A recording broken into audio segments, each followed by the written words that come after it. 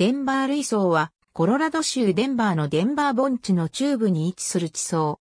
年代は、白亜紀後期、マーストリヒチアンから暁新生にかけ、軽ピコグラム境界の大量絶滅前後の堆積物を含む、この地層は恐竜を含む古生物化石で知られる。また重要な水源である淡水層も含まれる。デンバー類層は軽ピコグラム境界をまたいでいる。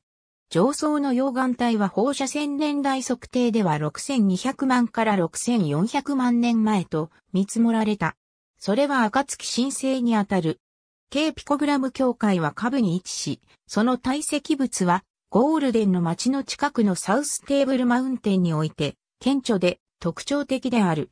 植物と脊椎動物の化石がデンバー盆地の暁申請メガフローラに含まれている。亀と哺乳類がしばしば見つかる。恐竜化石は下部の白亜紀後期の層に保存されている。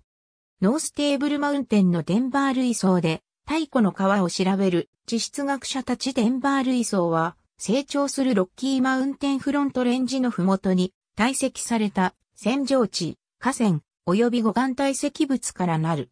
デンバー盆地中央部での厚さは600フィートから1580フィートである。それは主に明るい灰褐色の lenticular 状の層で、緩やかにセメント化された、軽質粘土、泥岩、石灰岩、凝灰岩の砂岩からなり、いくつかの地域では、安山岩質の礫岩で構成されている。仮想の石炭と炭素頁岩の床はいくつかの地域で上部500フィートに見られる。石炭層と炭素頁岩はいくつかのエリアの500メートル以上の上層に見られる。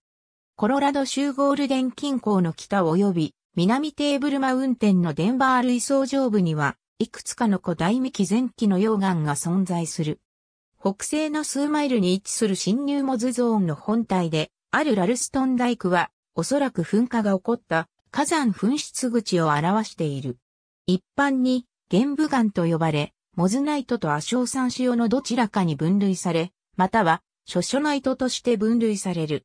それらには、奇跡、社長石、オリビン、ジャモン石が含まれ、サニジン、オルソクレアーゼ、アパタイト、マグネタイト及び、クロクモ母が散在する。